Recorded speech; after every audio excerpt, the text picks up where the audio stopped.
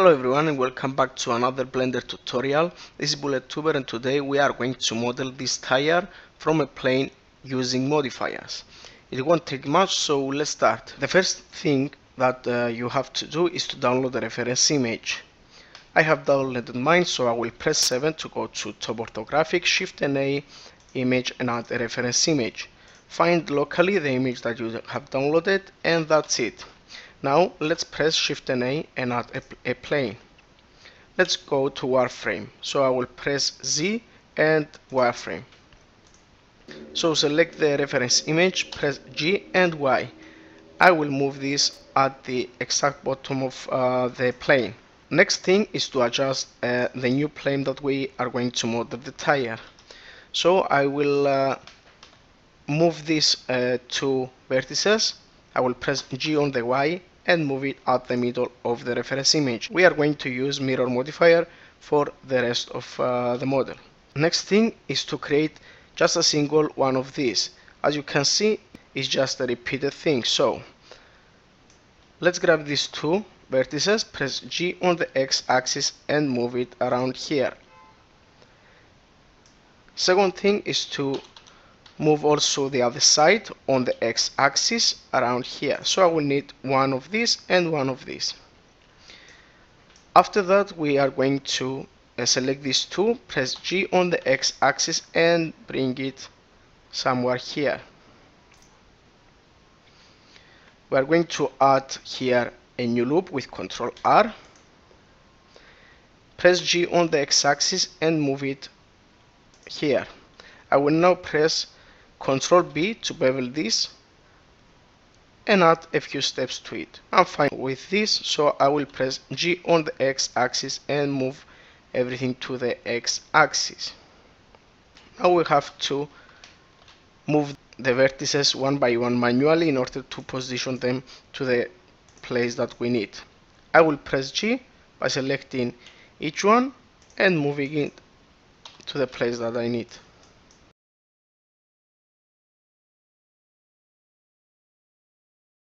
Once we are done with this, I will press Ctrl R and add a new loop here. Let's also move these vertices to match the pattern. Next thing is to create these uh, extrusions here. So I will also like this uh, small detail here. So I will press Ctrl R, add a new line here, Ctrl B and bevel it around here. So we are good to move on. Let's now change to face selection. Click on this one hold control key and check until here. Let's go to front orthographic with one on the numpad press E to extrude on the z-axis minus 0.1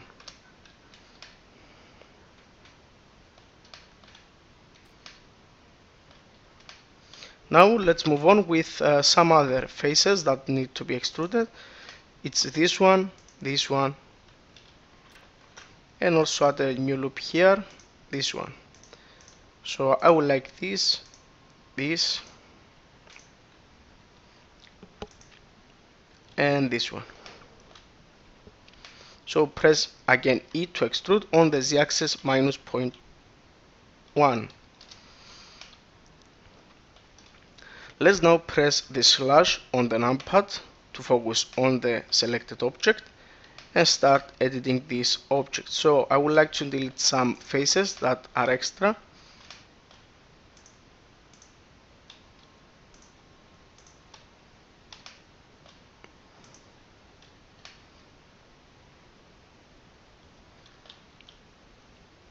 X and delete these faces.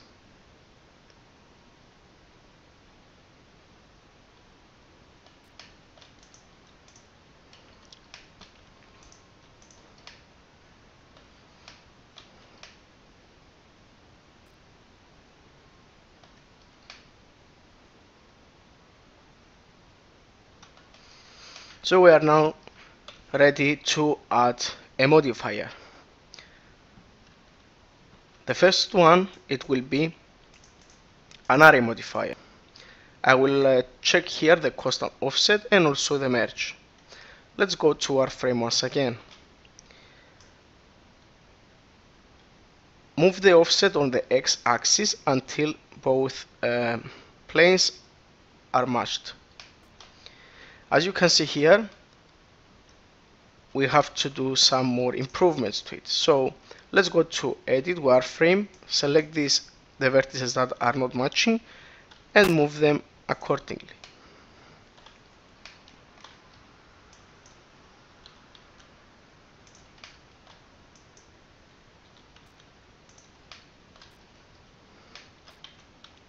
Let's go back to solid view and see how it looks. As you can see, some faces, we miss some faces, so we need to delete them. I think the pattern is now fine. So the next thing we are going to do is to go under the object data properties, expand the normals and check auto smooth. Change the angle to 90 degrees. Select the object and right click shade smooth. Let's create now the material that we need. This will be a tire. I will change the color to a black one. Let's also change here to viewport shading. As you can see, it's too much uh, shiny, so we need to uh, change the specular and the roughness. We are good with it. Next is to add a mirror modifier. In order to add the mirror modifier, we would like it to be from here. So let's change to edge selection, select these two edges, press Shift and S and set the cursor to the selected. Then go back to solid, right click, set origin and send the origin to the 3D cursor. Now we can go to the modifiers and add also a mirror modifier. Let's change from here to Y axis. I will now press Alt and G in order to move uh, my object to the center of the world origin. But we also need to change the origin again and also delete some faces.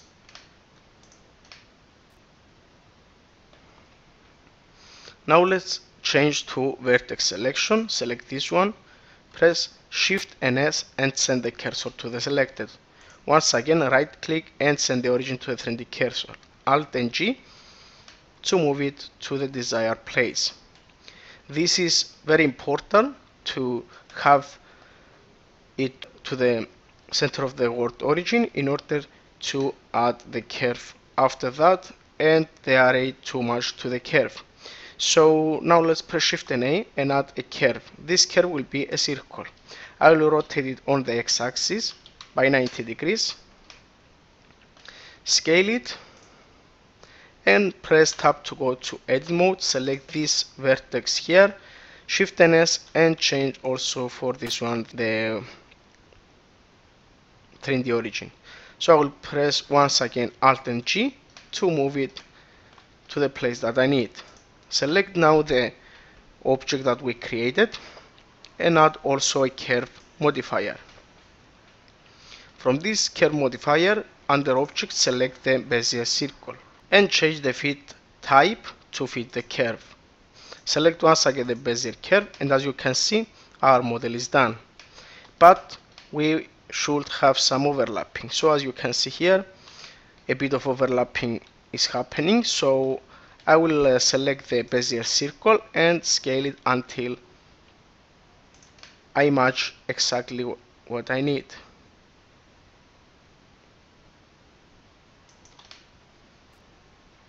So I think here it will be great. Let's now apply all the modifiers. Once we apply them, let's go to top orthographic. Let's change to wireframe and select the half of the object. Let's now press X and delete the vertices.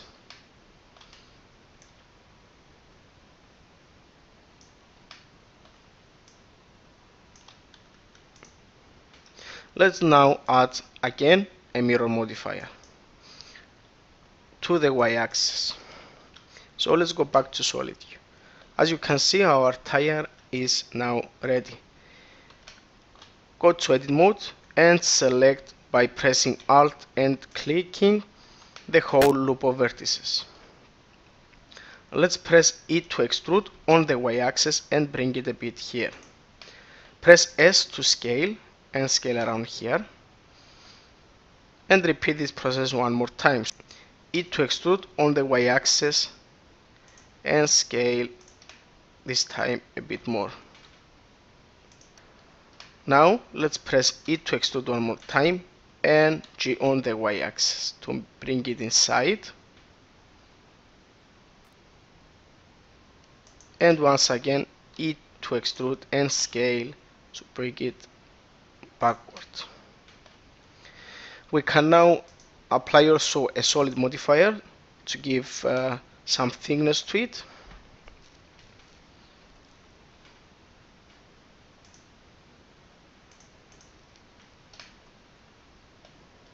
And apply all the modifiers. Let's now go to shading tab and delete our reference image. And also the bezier curve since we don't need them anymore. I will select here the tire and check how it looks. So I would like a bit more to be some more shiny so I will uh, increase the specular. And that's it.